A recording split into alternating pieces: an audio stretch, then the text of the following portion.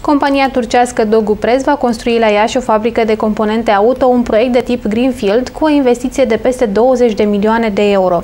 Noua unitate va produce subcomponente în ce se integrează în injectoare diesel și de benzină. Investitorii turci se află zilele acestea în Iași pentru discuții cu autoritățile locale.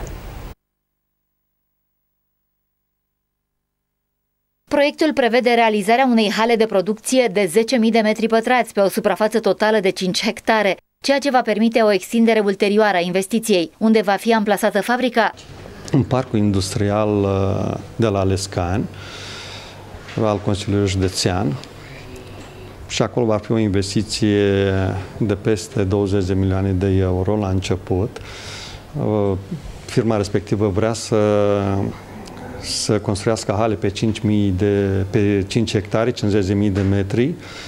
Și discutăm acum despre partea de, de utilități, despre partea de concesiune și... Din păcate, parcul industrial de la Lețcani nu e condus cu responsabilitate, în opinia președintelui Consiliului Județean, iar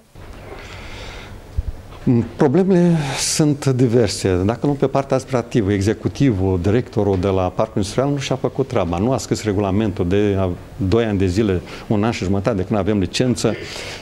Din 2014 nu a obținut avizele. Anul trecut m-am implicat în luna februarie, am obținut avizele în două luni de zile și am obținut și licența de parc industrial, așteptând timp de un an să facă regulamentul.